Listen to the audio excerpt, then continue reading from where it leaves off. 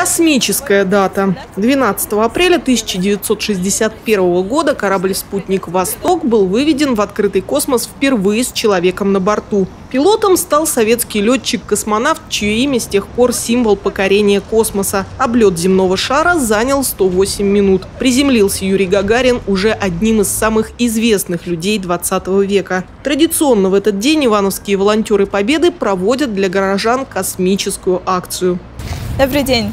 А, я волонтер Победы, и у нас проходит акция «Улыбка Гагарина». Не хотите показать свою улыбку? И сфотографироваться? У меня получится. Прохожим раздают листовки с информацией о выдающихся российских космонавтах и просят изобразить ту самую неповторимую улыбку Юрия Гагарина, первого человека, шагнувшего в глубины космоса. И все же цель акции не только поднять прохожим настроение – Цель нашей акции – напомнить гражданам о таком великом дне, о великом полете все-таки и вспомнить эту знаменитую улыбку.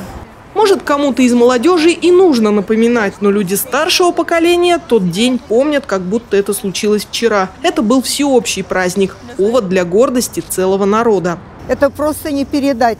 Весь народ ликовал, все кричали «Ура! Мы в космосе! Мы первые!» Наш Юрий Гагарин, молодец! Вообще, весь народ его встречал во всех разных странах. Мы были просто счастливы. Мы всегда помним этот день и будем всегда помнить. И пусть наши внуки, правнуки, и пусть наше последующее поколение всегда помнит этот день. Наталья Гутарина, Антон Осипов, РТВ Иваново.